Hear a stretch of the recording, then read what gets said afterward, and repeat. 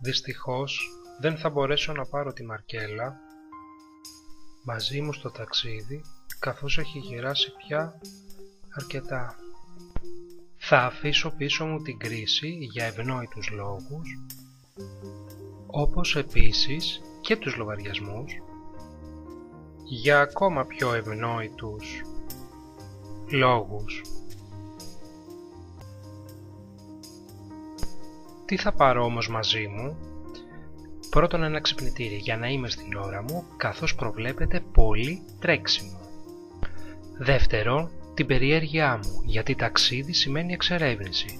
Τι να κρύβει για το επόμενο στενό; Τέλος, θα έπαιρνα το σημειωματάριό μου για να σημειώσω τις καλές στιγμές και όχι μόνο αυτού του ταξιδιού. Να με κι εγώ. Όπως βλέπετε και από την ταμπέλα, με λένε Θωμά. Η μουσική είναι του Longitude.